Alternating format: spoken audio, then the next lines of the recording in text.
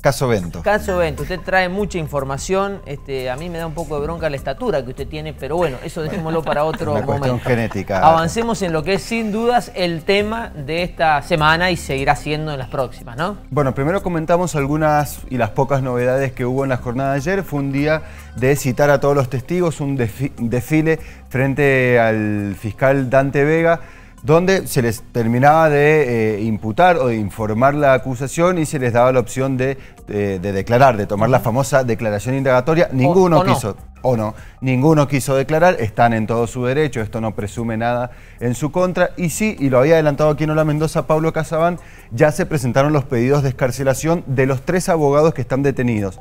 Martín Ríos, Matías Aramayo y Luciano Ortego. Creen que esto se va a resolver entre el lunes y el martes. ¿Quién lo resuelve? El juez que entiende la causa, que es el juez de San Rafael, Eduardo Puigdéndoras. Veremos cuál será el dictamen de la Fiscalía. Entendemos que va a ser negativo. Ellos quieren que continúen detenidos los abogados, pero veremos el lunes o el martes qué se resuelve. Ahora sí, vamos a avanzar con la información. Y claro, la Fiscalía para probar que hubo pago de- de coimas tiene que probar que también los presos resultaron favorecidos. Por esto, otros expedientes, que son los fallos, aquellos en los que intervino Walter Bento, son prueba fundamental en la causa para ver si efectivamente todo lo que está en escuchas telefónicas Sí. se traslada al ámbito judicial, a lo que después firmaba Walter O Bento. sea, si tuvieron la libertad o no, si recibieron algún beneficio. Si tuvieron la libertad o no, si tuvieron algún beneficio. Así que vamos a repasar y vamos también a contar un poco cuáles son estas cinco personas que fueron detenidas en la jornada del miércoles porque, si bien estaban sospechadas en algunas causas, estaban en libertad.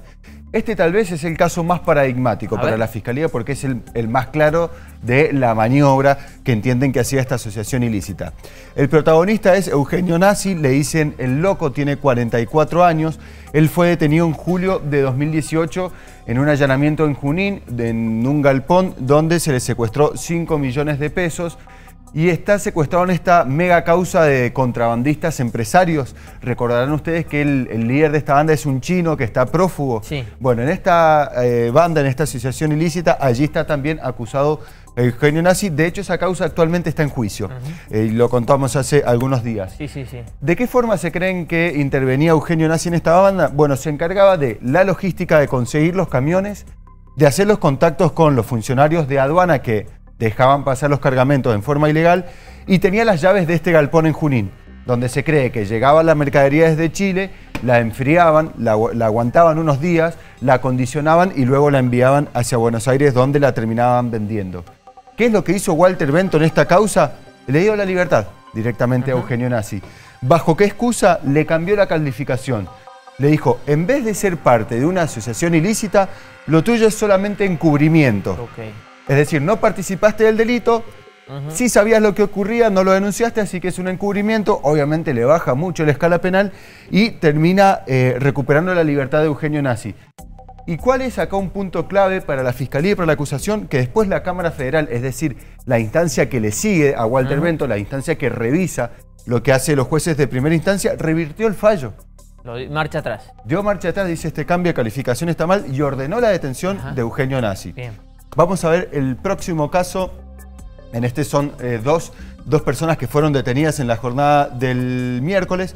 Javier Santos Ortega y Juan Carlos Molina. Ellos también están acusados en una causa de contrabando muy similar y lo que decíamos los otros días. Siempre delitos que generan mucha ganancia. Ganancia ilegal, claramente. Ellos también, contrabando de mercadería desde Chile que luego llegaba a Mendoza, la vendían a través de internet en unos allanamientos que se hizo en mayo y junio de 2019. Además de ser detenidas estas dos personas, se secuestró 70.000 prendas de ropa, entre prendas de ropa y zapatillas, un cargamento valuado en 200 millones de pesos. Impresionante. Imaginen la cantidad de plata que mueve esta gente. A Javier Santos, primero que era defendido por Martín Ríos, uno de los abogados que también fue detenido el miércoles. Walter Bento desde un primer momento le dio directamente la domiciliaria y luego la escarcelación. Y a Juan Carlos Molina, Walter Bento también le cambió la calificación y le dijo, usted en realidad es un partícipe secundario. Al ser partícipe secundario quiere decir que participa del delito, pero su rol no es esencial. No es El delito se podría haber cometido igual sin su participación. Bien. Obviamente recupera la libertad porque le baja la escala penal.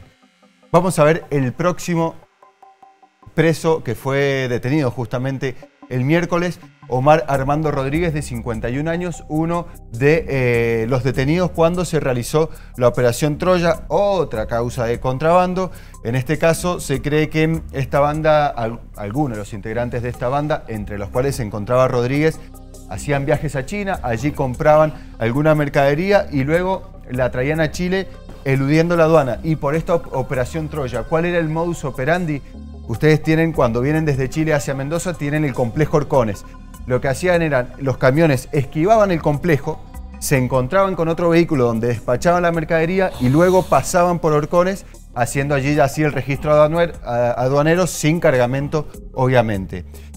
Bento lo que hizo con Armando Rodríguez es procesarlo, es decir, imputarlo, pero sin prisión preventiva.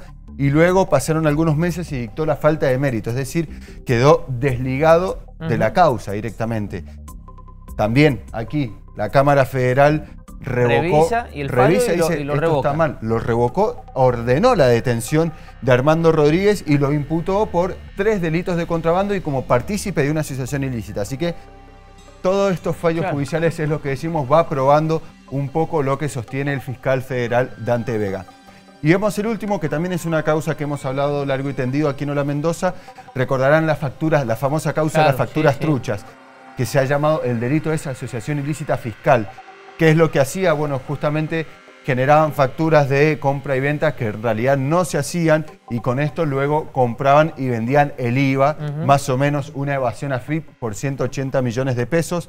Esta causa llegó a juicio el año pasado, lo comentamos aquí en Ola Mendoza, tuvo eh, siete personas condenadas, pero Juan Carlos Molina, que en un principio estuvo sospechado, Walter Mento le dictó la falta de mérito, nunca llegó a juicio esta persona. Acá hacemos la aclaración, sí, de que esta falta de mérito nunca fue apelada ni por la Fiscalía ni por AFIP, que era querellante. Así que, bueno, por acá no puede ser tan eh, contundente, digamos, la maniobra según la Fiscalía, pero este es otro de los delitos de cohecho que sostiene el fiscal federal Dante Vega. Eh, Seba, dos preguntas que te hago simplemente. Todo esto forma parte de la causa, ahora hay que probar que esto Bento lo haya hecho, digo, esto es el proceso de probar que Bento haya, haya hecho esto en pos de algo, ¿no? Exactamente. Bueno, a ver, decíamos, la causa se compone de varias pruebas y el lunes vamos a traer más información con esto. Una de las pruebas son testimonios. Testimonios de Diego Barrera, el, asesino confeso de Diego Aliaga, que él relata todo esto. Otra de las pruebas son las escuchas telefónicas y todo lo que se ha encontrado en los teléfonos. Y el lunes vamos a preparar mucha información porque ahí es donde está lo más contundente. Bien. Y la otra prueba son los fallos judiciales que terminan respondiendo a lo que se a la información que se recabó de los teléfonos y de las declaraciones eh, testimoniales. Lo último, Bento es un juez muy importante porque además recuerden ustedes, estamos en un año de elecciones. Exactamente. ¿Qué va a pasar con Bento? ¿Sigue trabajando hoy? Ayer, por ejemplo, se presentó a trabajar, está Ayer de licencia. se presentó, el miércoles se tomó una licencia personal solamente por el día. El miércoles fue el día que hicieron el allanamiento. Cuatro horas estuvieron en su despacho allí en tribunales federales. Ah, y un dato que no es menor. Hacen un allanamiento en su domicilio. Sí y Bento no entregó el teléfono celular. Dijo que no lo encontraba.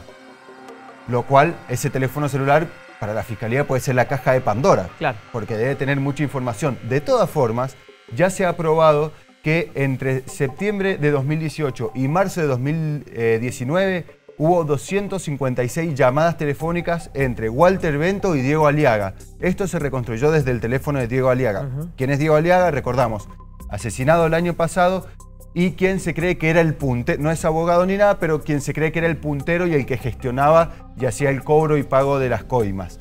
De hecho, si Diego Aliaga estuviera vivo, hoy estaría imputado en la causa. Pero bueno, que haya 256 llamadas desde el teléfono oficial de Walter Bento, el teléfono que le, que le provee el Consejo de la Magistratura, con Diego Aliaga, un personaje muy oscuro, ya empieza a probar un poco para la Fiscalía y obviamente es una prueba clave. No se sabe qué es lo que hablaron, pero las llamadas están.